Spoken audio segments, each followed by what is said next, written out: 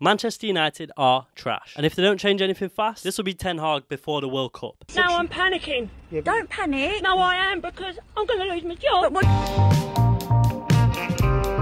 Welcome to the Football Report where we recap the last week of football.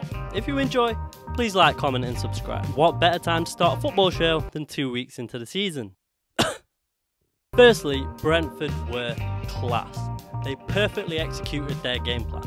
But Manchester United made them look like prime Barcelona MSN. This is the worst Man United team I've ever seen. I genuinely feel sorry for Erik Ten Hag. Whether you point at the board or the players, it's all rotten. The players reflect everything wrong with Manchester United at this point in time. When you're not playing well, you want to show that you can at least fight.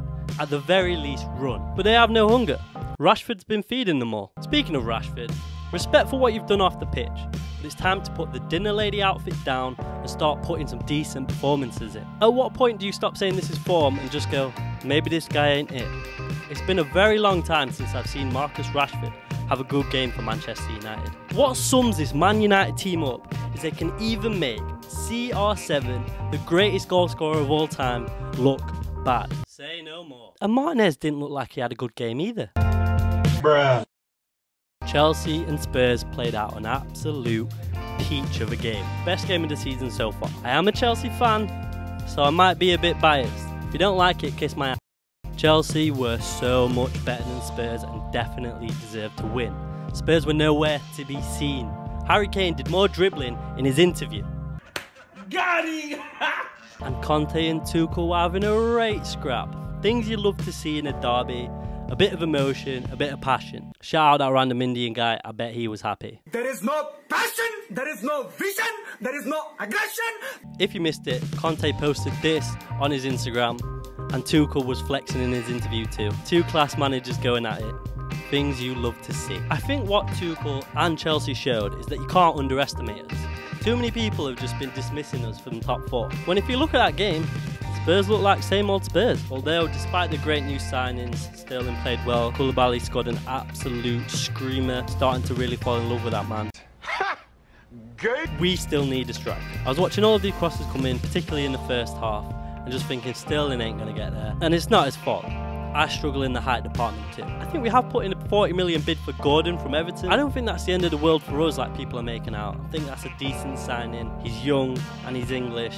I think it's more of an issue for Everton. He seems to be the only shining light for them at the moment. Apparently, we are going to be going for a striker. Obama who? Obama what? Obama!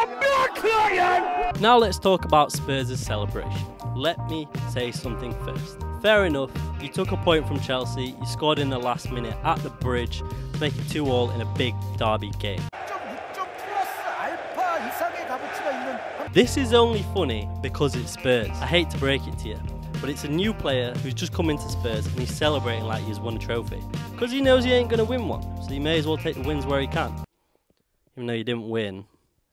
It's not fair. I genuinely feel a bit sorry for the Spurs fans, but it's true. Arsenal are looking really dangerous this season. The long-term vision is starting to pay off. Arteta got rid of a lot of shit and he's made some ballsy decisions. For example, with Aubameyang. Obama who? But I rate him. He's backed himself, and like I said, it seems to be starting to pay dividends. Jesus is living up to his name. It's a great start to the season. The only thing is, because it's Arsenal, you just don't believe that they can sustain this and win the league. stupid you are. You're a fool. You are an idiot. Dumb you are. You moron. Despite Haaland having a Lukaku-like performance with only two passes, City still managed to win 4-0. It doesn't even feel like they've got out of second gear, which is quite scary. The thing is with Haaland, even if he plays bad, he's still got an assist. The fact is he drags players to him. In order to deal with him, you might need to double up, which creates space, and I don't think there's a more deadly team on the planet right now when they get given a bit of space. So with that being said, I think they are still favourites to win the league. All four fans of theirs must be buzzing. Liverpool drew again, this time against Crystal Palace. Palace did what they needed to do, sat back, dug deep and broke with players like Zaha. It's hard to contain them when they're on the break. Nunez with a big fat L on his Anfield debut. Headbutt, red card, stupid, stupid decision. What he should have done is just pulled his hair, because that's what you can do, isn't that right, Anthony Taylor?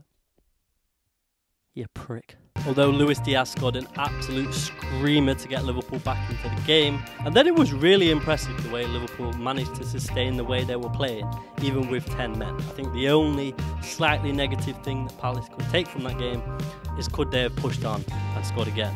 Although Zaha did hit the post when he should have scored. But again, a point at Anfield that's a done. Liverpool are playing Manchester United next. Which again, please. and it's on a Monday, so they get an extra day off. Honestly, this guy is an incredible manager, but his excuses, I promise you, at some point in the season, this guy is going to be talking about star signs. They all have different traits and different flipping likes and different flipping. You're a donut. You're so stupid. I want to create a community where we can talk in the comments whether you agree or disagree. Just let me know. Football Report's going to be coming out every Monday. I know it's come out on a Tuesday. It's because yesterday I was feeling depressed. If you are struggling with your mental health, kill yourself. no, don't do that. Just drop me a message on Instagram. I'll leave it here. There, I'll leave it there. See you next week.